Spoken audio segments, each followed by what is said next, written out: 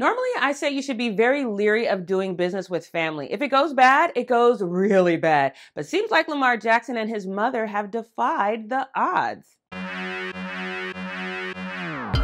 What's up, everybody, and welcome back to The Fumble. I'm Jackie Rae. Do me a favor, make sure you hit that subscribe button and that notification bell, and then you can follow me on YouTube, Instagram, or Twitter at Jackie Rae TV. Now, I hope you guys know this, but Lamar Jackson, kind of business savvy. From the onset of his career, he knew there was no point in wasting money. Since rookie contracts are already set, he opted out of an agent so he wouldn't have to pay that 3% fee. Instead, Jackson has been his own agent working with a team of advisors, including his mother. I know some of you may have opinions about that, but according to the Ravens GM, the mother son duo is a force to be reckoned with.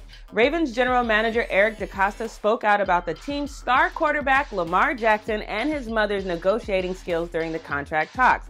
According to DeCosta, he was impressed by the intelligence and the negotiation prowess of both Jackson and his mother. In fact, DeCosta said that he has never seen a mother son duo negotiate a contract as shrewdly as the two of them did. The Ravens GM praised Jackson for his work ethic and the way he has matured as a player, stating that he is excited about the team's future with the young quarterback. DeCosta also emphasized that the team values their relationship with Jackson and his family and is committed to working with them to create a successful future for both parties.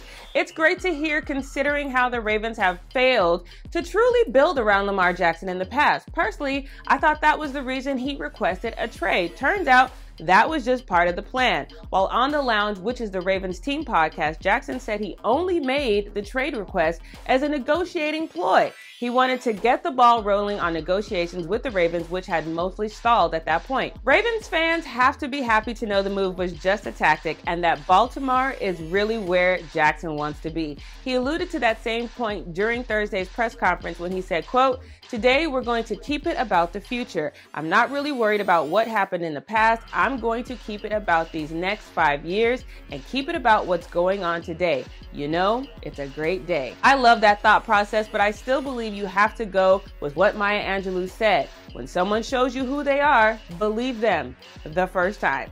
So, do you think this is a true turning point in this relationship between Lamar Jackson and the Baltimore Ravens? And are they going to truly build around him? Let me know your thoughts in the comments below. Once again, I'm Jackie Rae, and thanks for watching The Fumble.